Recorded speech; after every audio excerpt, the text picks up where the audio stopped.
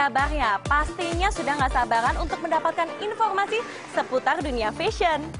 Nah, selama 30 menit ke depan, saya Sandra Olga akan memberikan informasi tentang event fashion, match and match, tips, profil desainer, dan masih banyak lagi.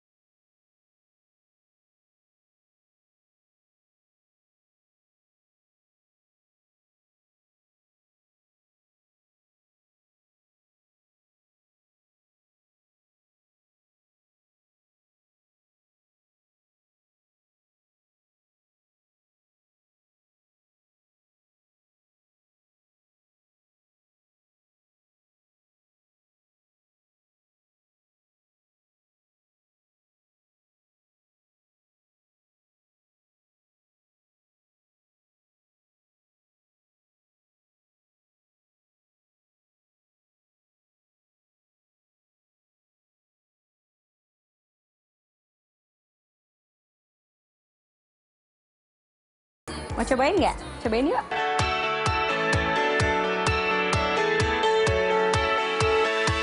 Tada! Fashionista! And untuk add up a little bit statement, fashion statement, kita tambahin topi atau tas. Seperti ini. Lucu banget, ini sangat bohemian. Dan buat Summer Festival, tas kecil itu sangat convenient karena kita nggak perlu bawa macem-macem, kita cuma bawa sedikit uang dan handphone. Dan tas kecil kayak gini ini paling pas. And you know what? Kita tambahin topi ya. Eh, ini lucu banget. Voila! And, and I'm ready to go to Summer Festival.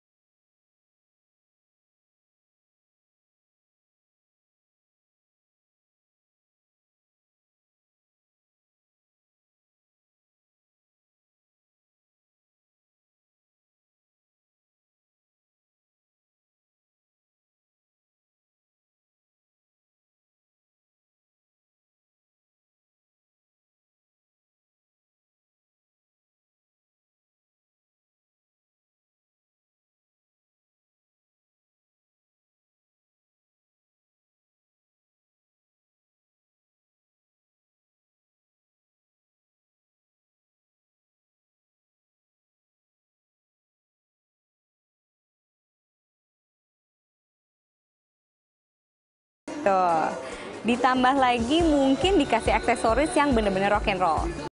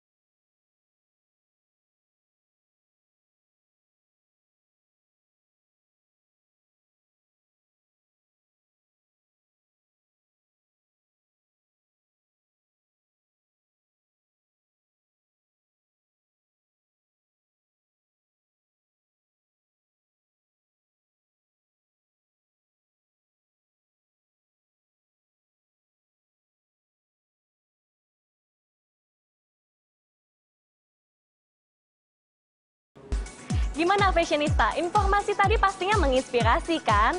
So jangan ke mana-mana karena setelah yang satu ini Sandra akan memberikan informasi yang gak kalah menarik. So stay tuned at Fashion Max. Let's talk about fashion.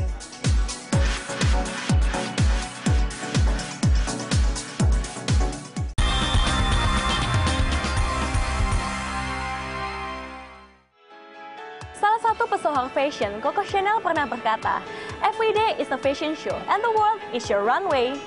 That's why kita harus bisa semaksimal mungkin tampil cantik di setiap harinya. Karena kita nggak pernah tahu kalau orang menilai kita berdasarkan apa yang kita pakai. That's why fashionista kita perlu banyak tahu mengenai tips and trick cara berpakaian yang menarik. Seperti yang berikut ini.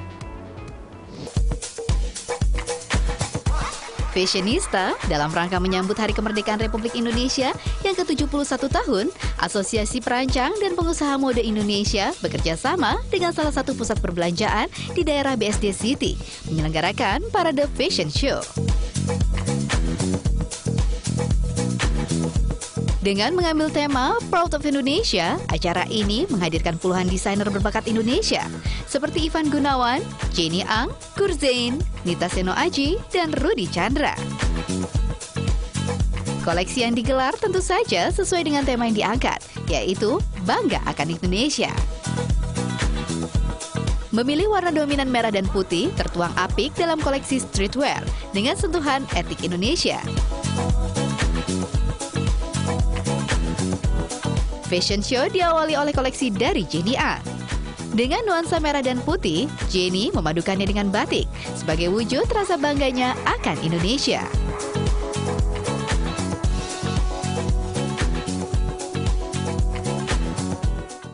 Untuk uh, rancangan saya yang untuk opening ceremony itu saya menggunakan produk ataupun kain dari batik peranakan dan juga menggunakan bahan dari tenun Garut. Nah, saya komplimen dengan uh, ide dari kebaya encim, tapi itu saya buat dari bordirnya saja. Jadi bordiran itu saya aplikasi ke blazer dan juga ke sarungnya. Jadi supaya looknya lebih uh, yang tidak terlalu berat untuk etnik Indonesia.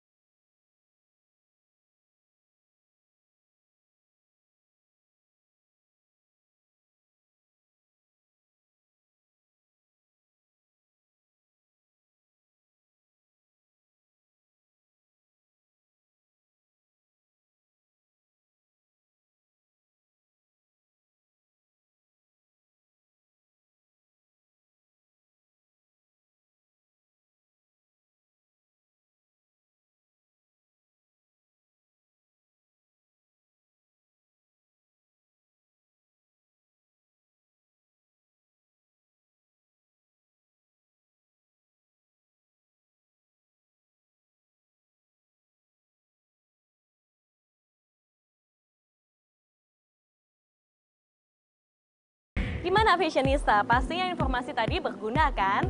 So jangan ke mana-mana, stay tune at Fashion Max. Let's talk about fashion.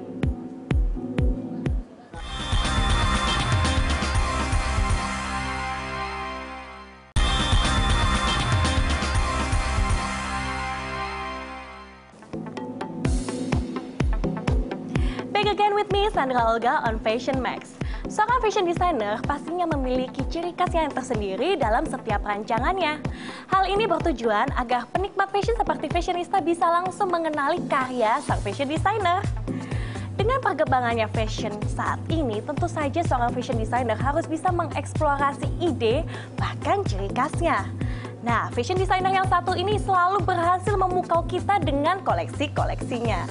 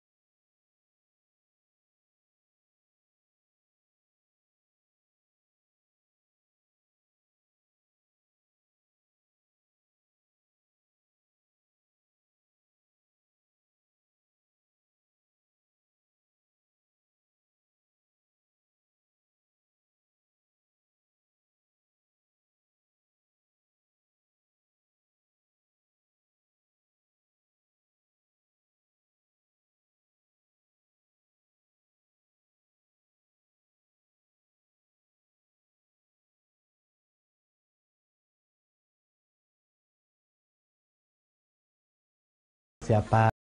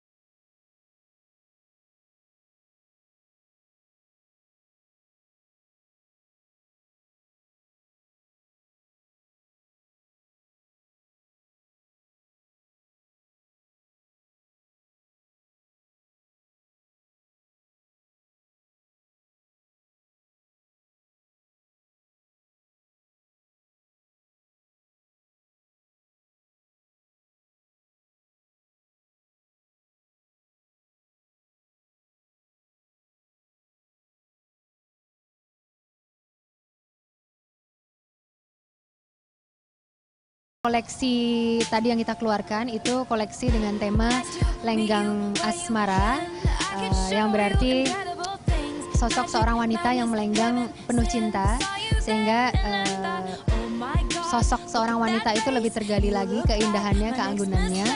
Lalu tadi bermacam-macam busana yang dikeluarkan tapi mungkin lebih spesifik ke busana pernikahan karena memang saya 80% saya memang bergelut di busana kebaya kontemporer special wedding. Uh, untuk kebaya pengantin sendiri, kebanyakan orang pengantin identik dengan warna putih. Jadi kalau saya nggak mengeluarkan koleksi putih rasanya kurang afdol sehingga di awal saya coba mengeluarkan koleksi yang lebih sakral yaitu kebaya pernikahan uh, berwarna off white dan gold, lalu off white dan bronze lengkap dengan kerudungnya lengkap dengan batik, juga ada songket, juga ada jas kontemporer, lalu jas koko.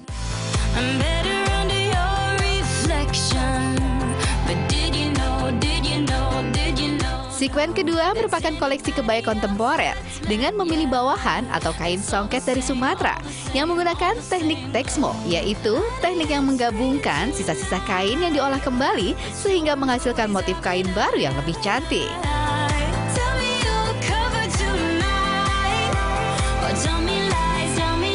Permainan warna-warna cantik dari kebaya yang dipakai para model menambah kesan anggun pada kebaya. Warna emas, ungu, dan hijau menjadi pilihan yang diaplikasikan dengan menawan. That I'm all yours. You and me, we're the same force. Tadi sekuens yang kedua memang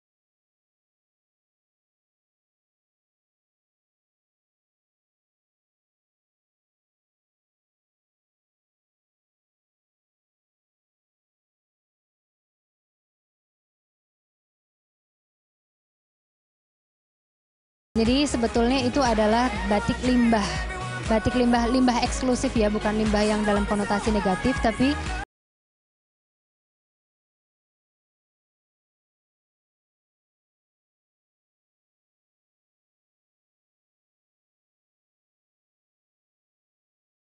mengelola limbah-limbah sisa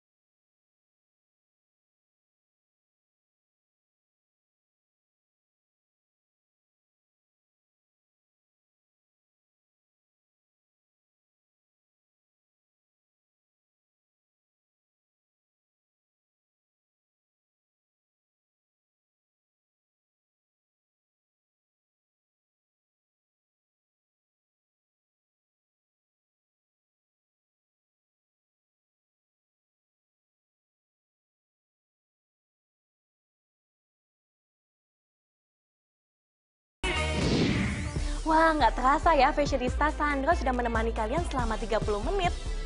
Nah, untuk bisa mengetahui tentang perkembangan dunia